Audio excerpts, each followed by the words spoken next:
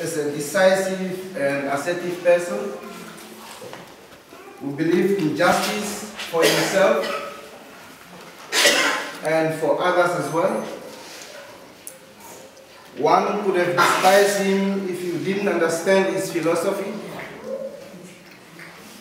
We were the three musketeers, Isaac !Kharuchab, Mushitu Mukwame, and myself, the trio that initiated the film Namibia, The Struggle for Liberation.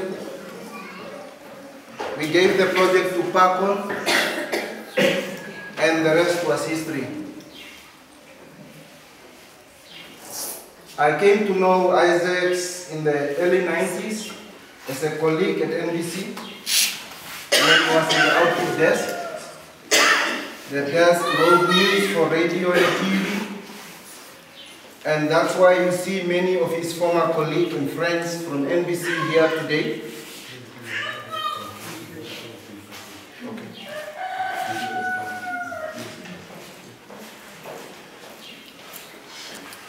So that's the reason you see so many NBC people here today to bury their mentor and friend and for that, he was an outstanding creative writer.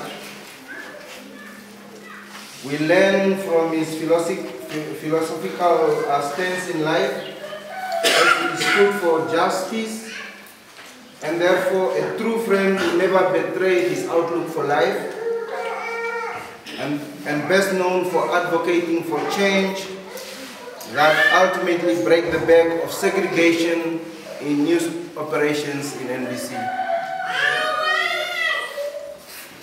Therefore, he was a no-nonsense freedom fighter who contributed to quality of life in Namibia.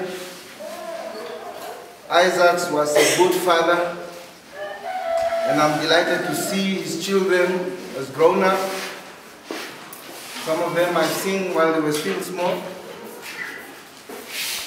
And on behalf of all former colleagues in NBC, we sincere, sincerely express our condolences and deepest sympathy as we also share in the sorrow of the family. Isaacs, rest in peace. Zou maar verduidelijk in uh, Afrikaans, maar vergeef me alsjeblieft. Uh, geziende gemeente, die familie van Geros.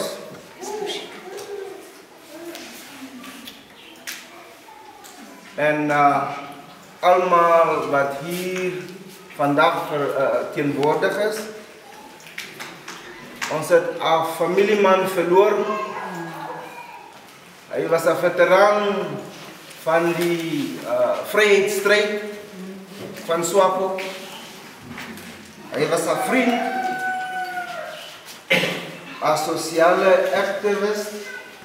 Hy was 'n joernalis, 'n filosof